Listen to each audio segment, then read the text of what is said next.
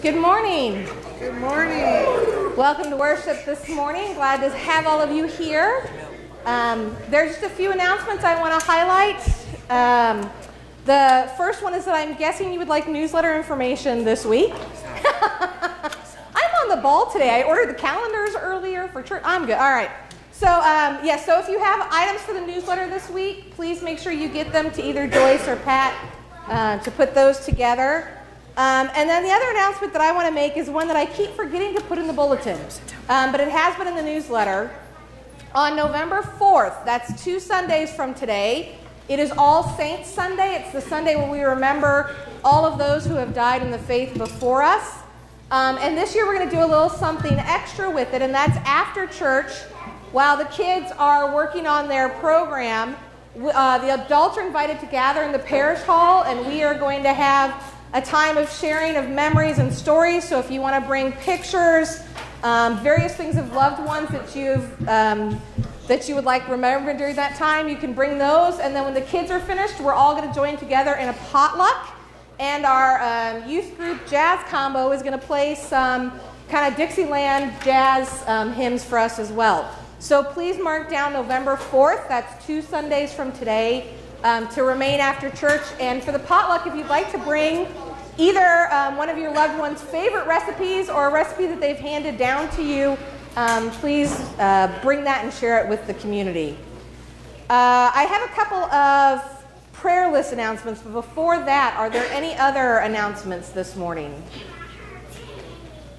Rick. Yes, uh, we have a ramp for couple to dismantle and one to take down. And uh, we'd like to do that Wednesday, Wednesday at the 9 a.m. All right. Debbie. As you can see, we're going to be having the blessing of the kids and stuff today. Just for your information, this is the whole congregation's work. This is not just two or three people doing stuff to get this together. It takes, takes this whole congregation to do this. For our, um, the kits that we have assembled to be sent from the warehouse to wherever they need to be sent for shipping and handling, our church alone, it would cost eight hundred twenty-nine dollars and sixty-five cents. And that is fifty boxes. So you guys have done, done wonderful, wonderful. Notebooks was six hundred and seventy-two that we had to assemble. Um, pens and pencils, eight hundred and forty. And the ones that have brought things, you think of how much each person bringing a little bit really, really helps. And the soap that went into the personal care kits, I needed approximately three hundred bars of soap. So when you bring soap, it carries on for the next year. I can never have too much soap. So thank you very much. And we're going to meet at ten o'clock Saturday to load everything into Bob's trailer, I hope. All right, yes, so that's this Saturday at 10 a.m. to load items. Uh, you saw the kits were out there today. We have some up here, and we will be blessing those today after the prayer of the day. Um, are there other, Irv? I just want to thank everybody for hearts, letters, prayers, and their thoughts. Uh, my recent heart spell and bypass surgery took me back. Yay. And we're so glad to have you back with us. All right, are any of the kids announcement or should, oh, oh, Nathan, all right. I'll say. Um, as you may saw, may have seen, uh, me, Reagan, Lily, and Luke are all selling butter braids for our band's trip to New Orleans this spring. Really exciting. We've been selling for a few years now, but it's finally coming up this spring. So we'll be selling again after church. If any of you guys would like to help us raise money for our trip, that'd be really awesome. That's right. And Mr. Hess told uh, the parents to remind everybody they will be here in time for Thanksgiving. So order them now because then you can have them for Thanksgiving meals. So, um, and we appreciate all that the support for our our kids. Um, are there any other announcements, Cody? I believe there is some young man's birthday today. Three I was gonna say we we're, we're gonna have a lot of birthdays to sing for in a few minutes. Mark and Bruce and Rick all. I was gonna say, uh, well, I know, yeah. So Bruce, Mark, Rick, Corbin, Sherry. Do we have any other birthdays this week? This is like the week, of, or this coming week. This is the week of like half the congregation. Eric, yeah. You're, yeah, yeah. I mean, it, it is the, the birthday week. The what? Your granddaughter. I'm telling you, there's something about this week in October in this. In this. Yeah, I was gonna say, yeah.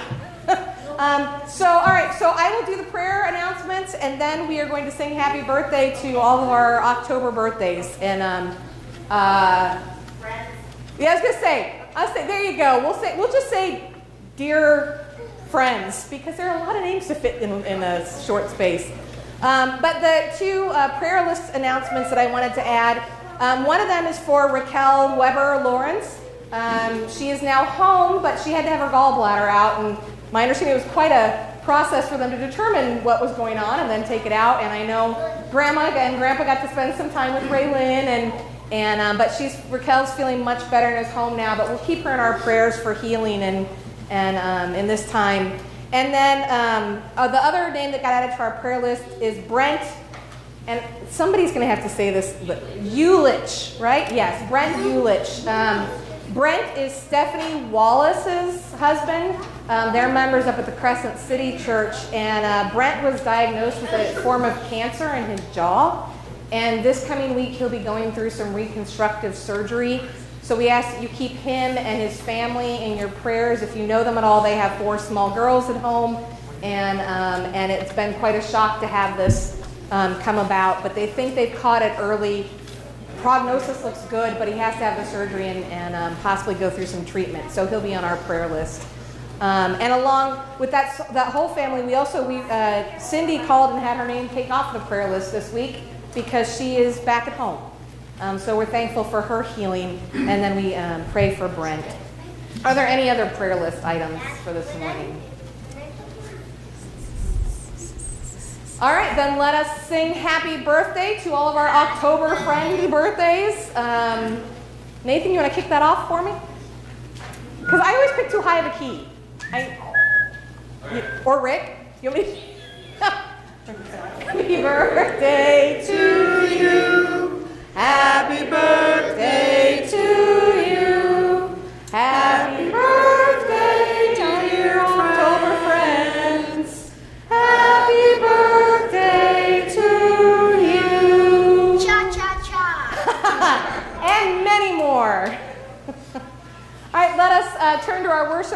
with our brief order for confession and forgiveness, which can be found on the screen or page 10.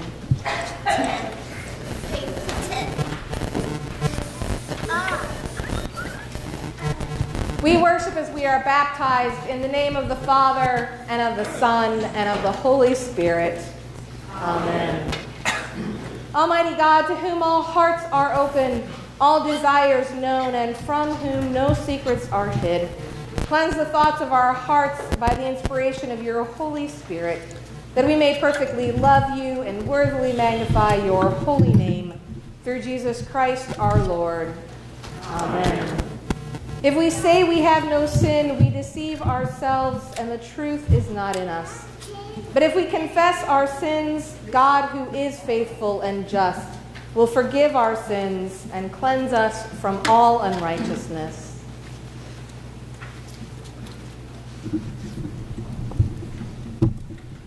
Most merciful God, we confess that we are in bondage to sin and cannot free ourselves.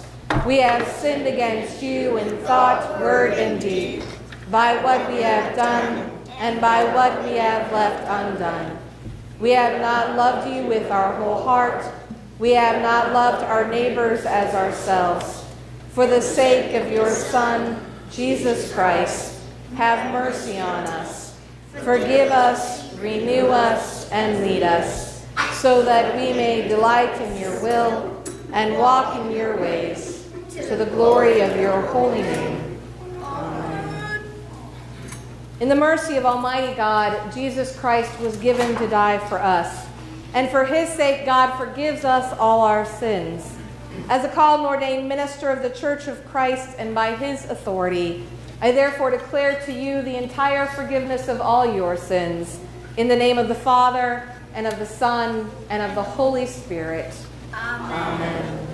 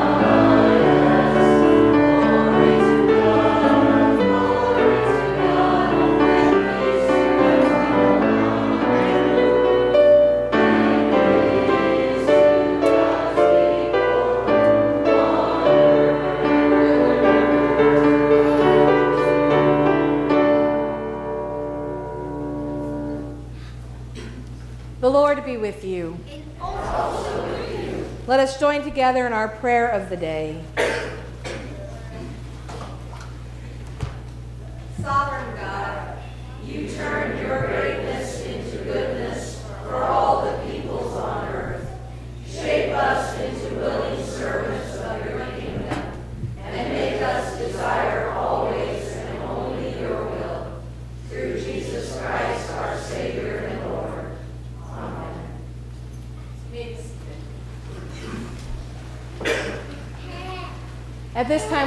Take a moment to bless our Lutheran World Relief quilts and kits as they travel this coming week. O Lord our God, maker of all things, you have blessed us with so many gifts a good eye for color, an open heart to love our neighbor in other countries, and an abundance of your blessings in our lives. Now we offer the fruits of our labors, these quilts and kits, to you. We dedicate them to your service, trusting that your love will go wherever each item is sent, making it more than just a piece of material, a collection of items, making each piece an expression of our love. Lord, we know that everything comes from your loving hand. May these quilts and kits that come from our hands be your heart to the world in need. Let us join in prayer. God, all that we have made in these boxes, we have made for you and for your people. We ask that you take them and use them for a world in need, and that you keep us mindful of all those who struggle daily to have warmth and shelter, care and clothing, food and necessities we take for granted. Watch over them and guide us to continue giving our blessings as we are able. In your name we pray. Amen.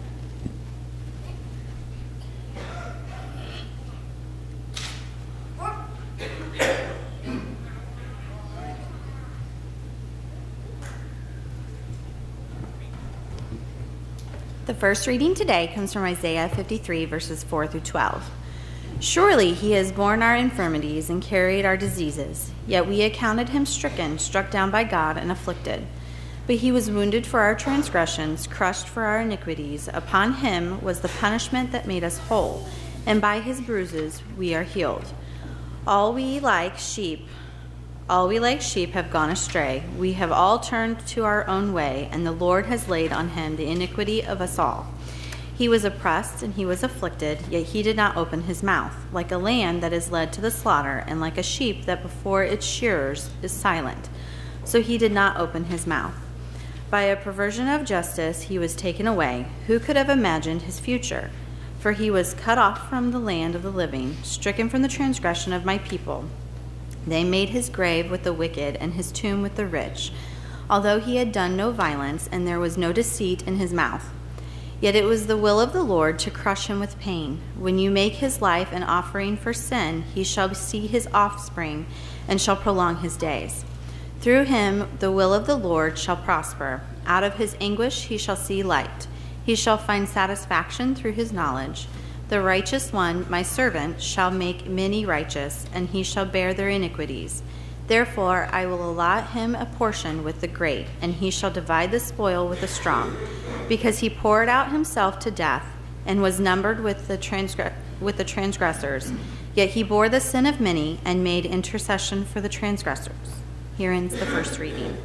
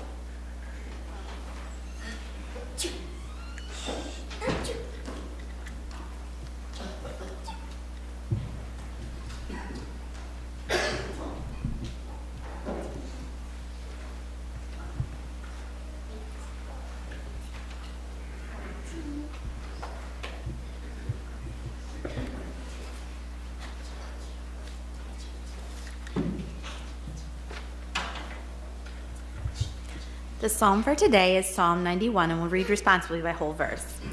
Because you have made the Lord your refuge and the Most High your habitation,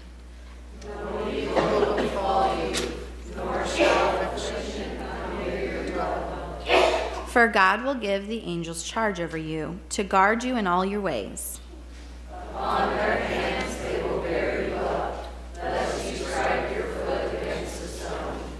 You will tread upon the lion cub and viper, you will trample down the lion and the serpent. I will deliver those who cling to me.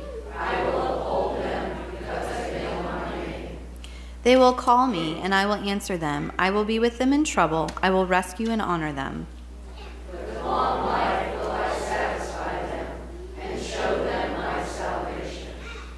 The second reading today comes from Hebrews chapter 5 verses 1 through 10.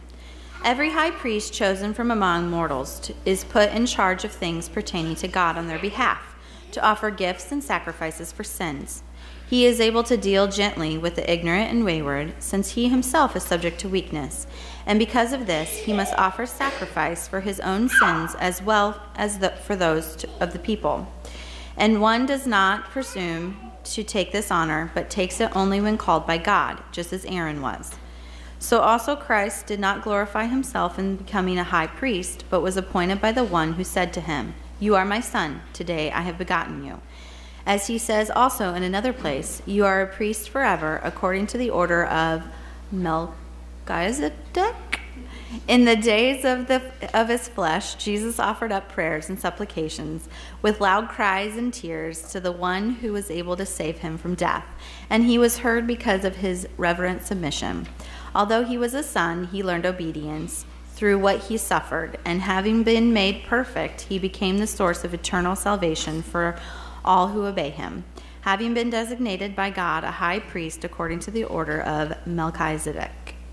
Here in second reading. I invite the young people forward.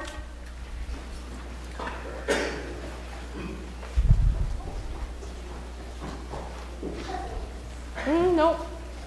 But good guess.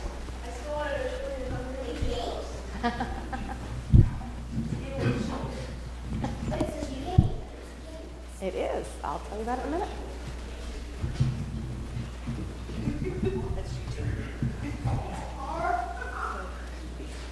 For that one. I figured you might come up for this one. This is one of Isaiah's favorite games. So, and I know by bringing it out today, I'm to have to play it later today. But this game is called the Worst Case Scenario Survival Game, Junior. How kids solve sticky predicaments. Right? In other words, what to do when you get in trouble. The funny thing about this game is what, Matt? What, what, what annoys us about this game? Not realistic, not really helpful. In the game, there are cards, and they have either questions or they have a situation, and they, they want to know what you would use in their situation. And the things that you can use are things like an ice cream sandwich, because don't you carry one of those on you at all times? No? A knife? Are you allowed to carry knives around? No? Towel? Maybe water bottle, but they're kind of goofy. So I thought it'd be kind of fun. I pulled out a couple of um, the questions or situations and the answers they have, and I thought it might be fun to hear what they do. So I'm going to give you each one. If you can't read it, that's okay. I'll help you get through it. Um, but but just just hang on to these for a minute, okay? And and we're going to go hang on that. All right, and we're going to go one through one. I'm going to help you guys read them if you need it, and you're going to tell me what do you think? We're going to want them think too. All right, so Alex, go ahead. Read yours.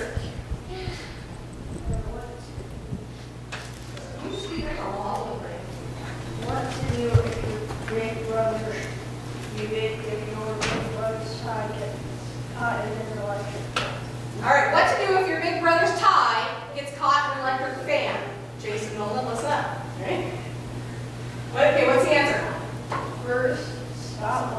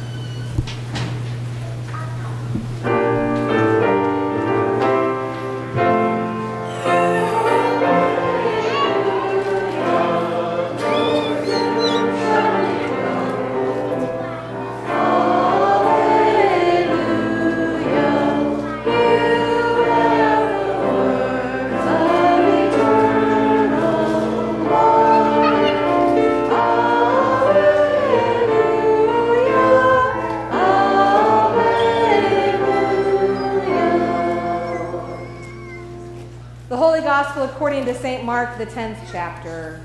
Glory to you, O Lord. James and John, the sons of Zebedee, came forward to Jesus and said to him, Teacher, we want you to do for us whatever we ask of you.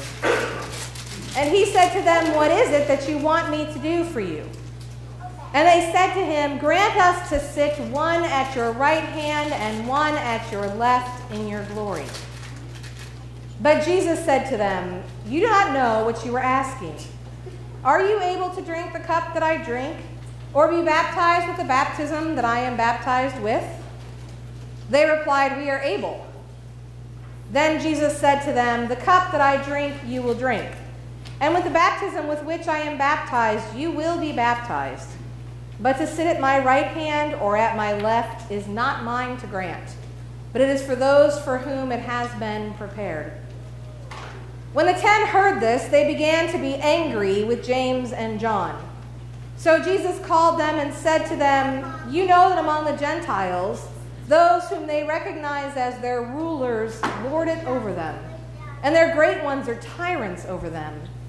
But it is not so among you. But whoever wishes to become great among you must be your servant, and whoever wishes to be first among you must be slave of all. For the Son of Man came not to be served, but to serve, and to give his life as a ransom for many. This is the gospel of our Lord. Praise to you, O Christ. May be seated.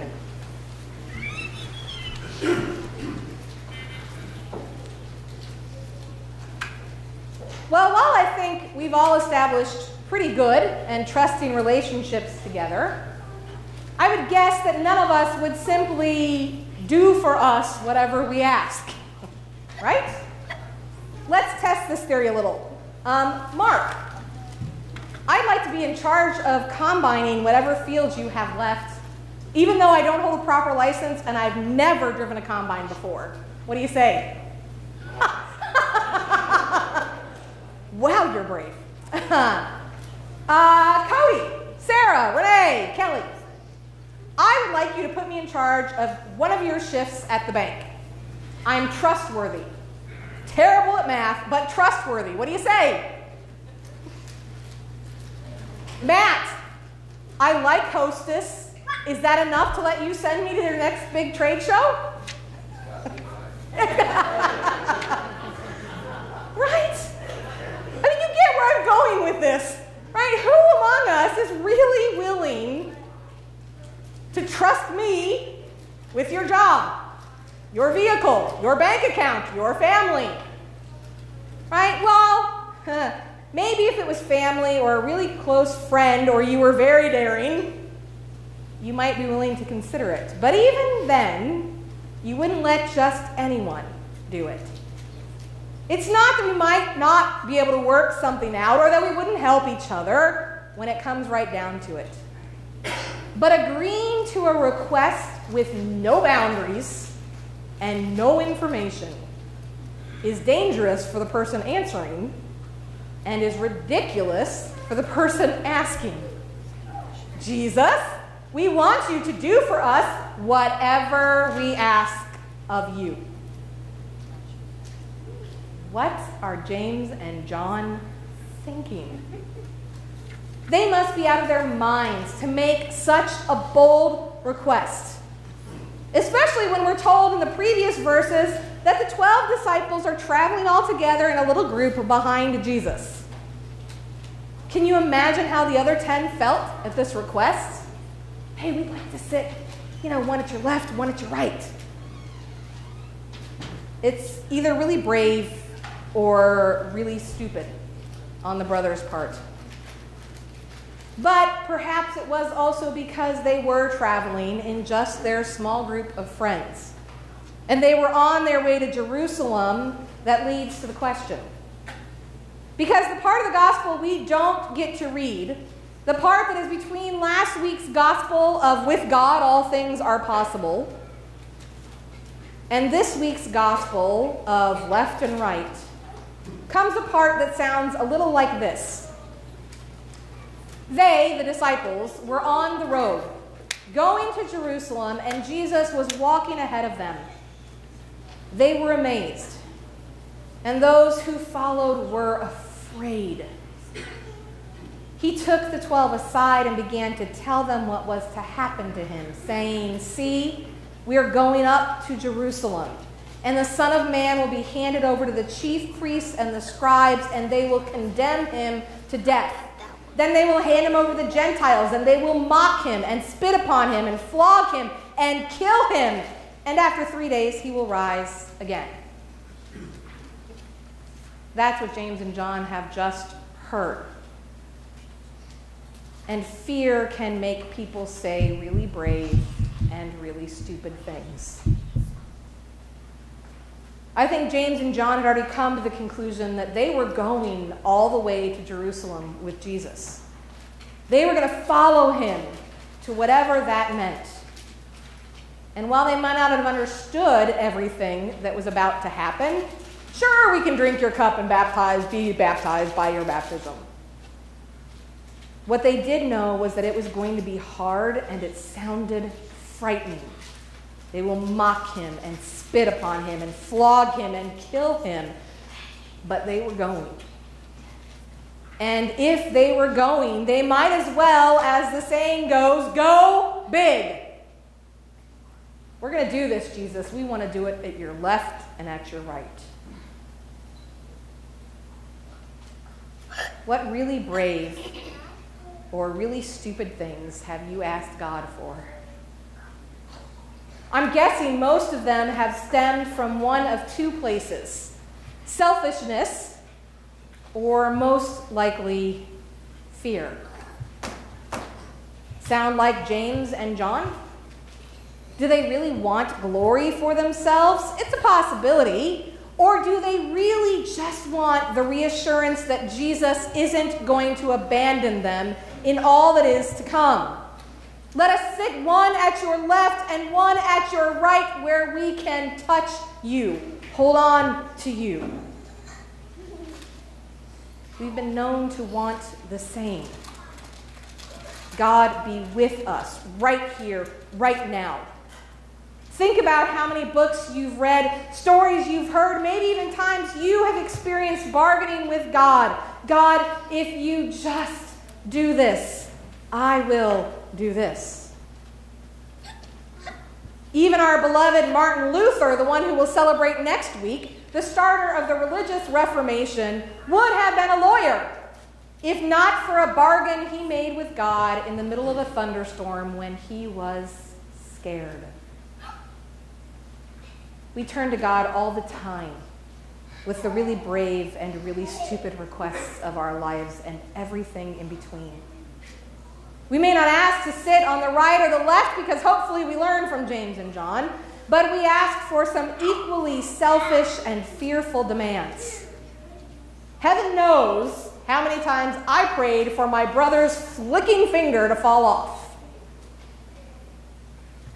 But thankfully, God doesn't always fulfill our requests. But He does listen. I love Jesus' response to James and John. What is it you ask of me? He doesn't rebuke them. He doesn't roll his eyes, maybe a little, but he doesn't turn them away. He doesn't reject their question with a, You're crazy. He listens to the requests and he answers. And we can go one of two ways on that answer. I've often heard people preach the angry, slightly vindictive answer You think you can drink my cup? All right. You think you can handle my baptism? You'll find out. And it becomes a foreshadowing to James's martyrdom and John's exile. But it could also be Jesus' reassurance that he has them covered. Because he will share a cup with them at his final meal. Can you drink of my cup? And if we think of his actual baptism, it was a moment of claiming the voice of God saying, You are my beloved. And through Jesus' baptism into death and resurrection, he will assure a place in the kingdom for James and John. You will drink of my cup and be baptized with my baptism. He tempers them a bit. I can't guarantee sitting next to me. That's not up to me. But you'll be there. And that will be enough. Jesus isn't worried so much about the arrangements in heaven as he is about getting everyone there. Jesus doesn't mind our questions. The brave ones, the silly ones, the selfish ones, the fearful ones, even the really stupid ones. It doesn't mean he'll turn around and answer them all exactly how we'd like or how we'd expect. But he knows most of them come from a place of fear fear for ourselves, our loved ones, our world. It's in those questions that he can respond, that he can speak with us, that he can remind us that he's not really here to do for us whatever we ask of him, but to do for us everything we need of him. He will reassure us of our belovedness as the children of God. He will share with us another cup of his life giving presence. He will baptize us anew with forgiveness and grace, helping to change our fear and our selfishness into faith and servanthood. Jesus stood on that road with his amazed and his afraid disciples, and he set his face to Jerusalem, knowing it would bring his death but knowing also it would bring about the death of his 12 friends, the end of the death of his 12 friends, the end of the death of the chief priests and the scribes who would mock him and beat him.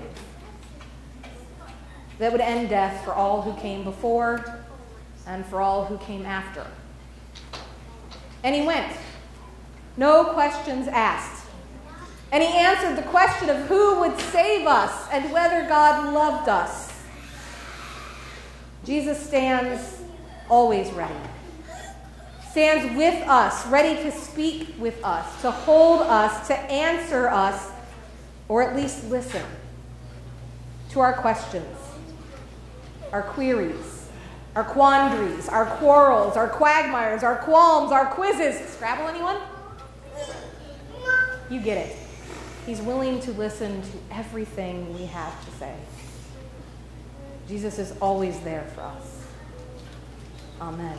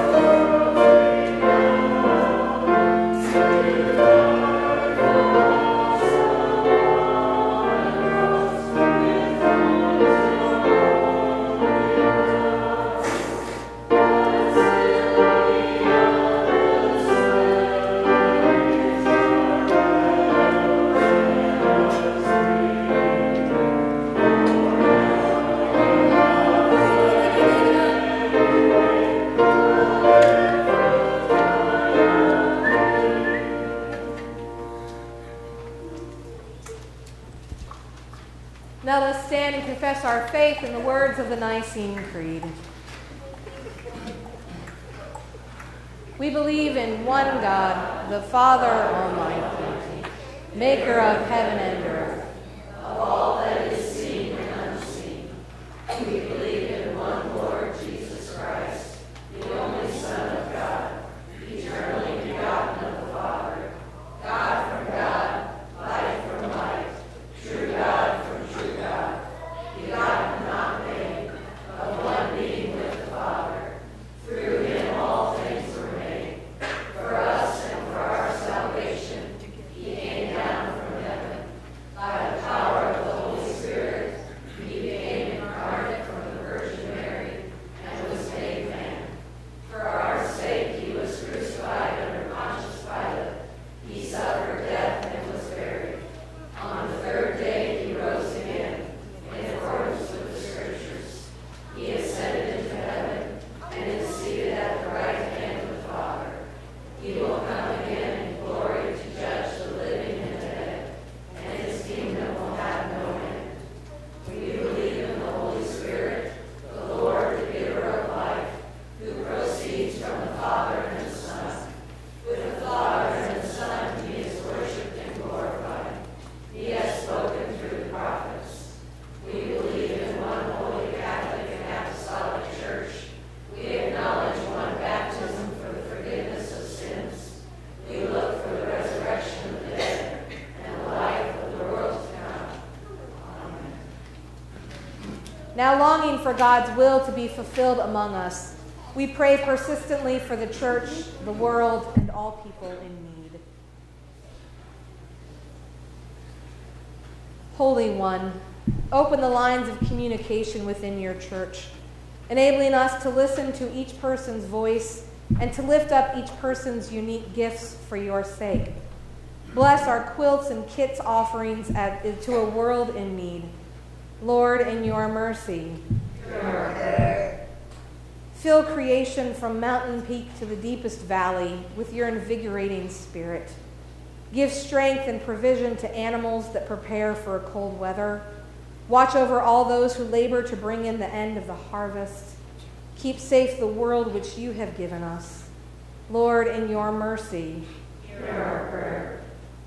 Grant your spirit of humility to those who hold authority. Direct political leaders to live in service to their citizens and to turn our eyes and hearts towards our neighbors.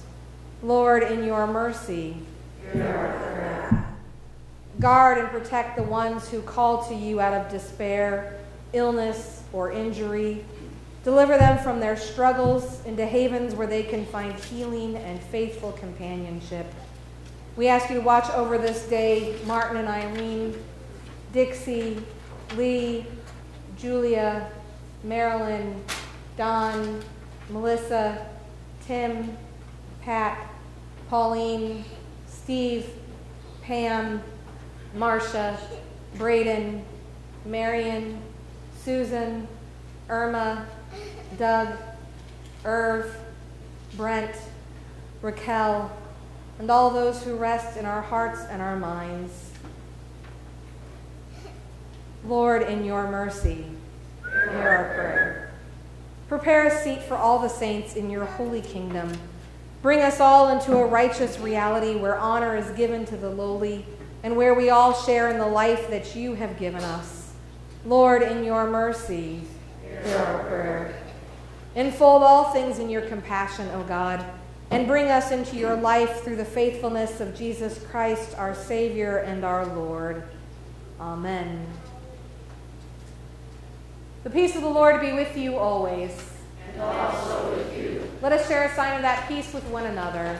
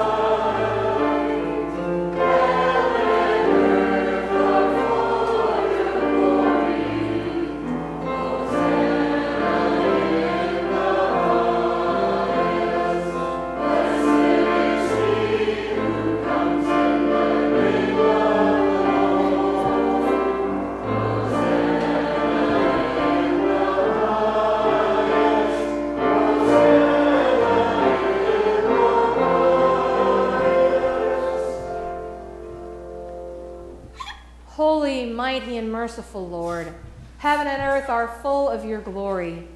In great love, you sent to us Jesus, your Son, who reached out to heal the sick and suffering, who preached good news to the poor, and who on the cross opened his arms to all.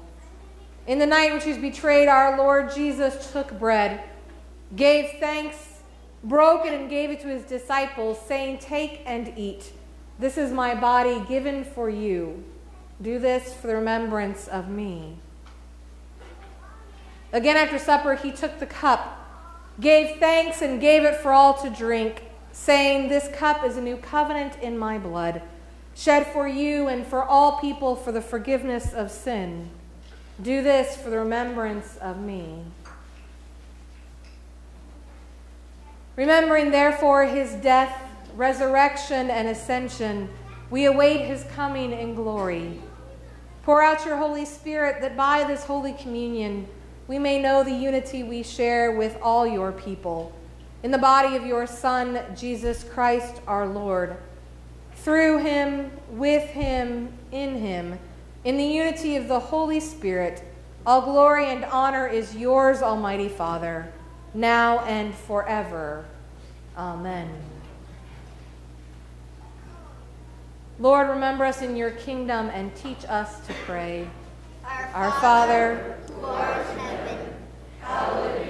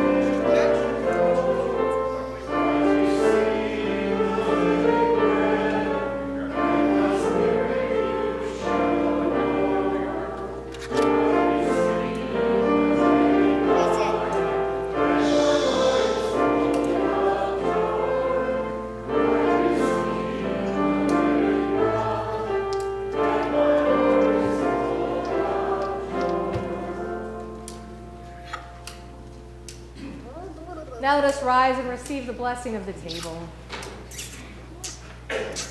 The body and blood of our Lord Jesus Christ strengthen you and keep you in his grace. Amen.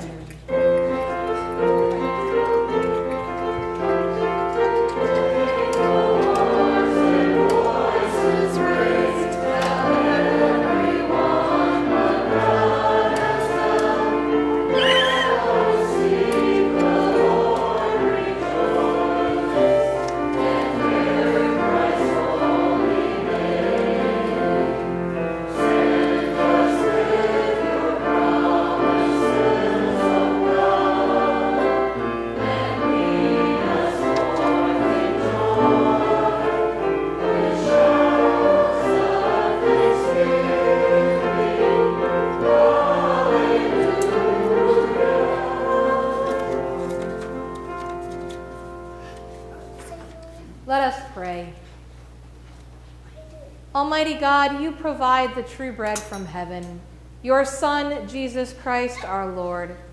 Grant that we who have received the sacrament of his body and blood may abide in him and he in us, that we may be filled with the power of his endless life, now and forever. Amen. Almighty God, Father, Son, and Holy Spirit, bless you now and forever. And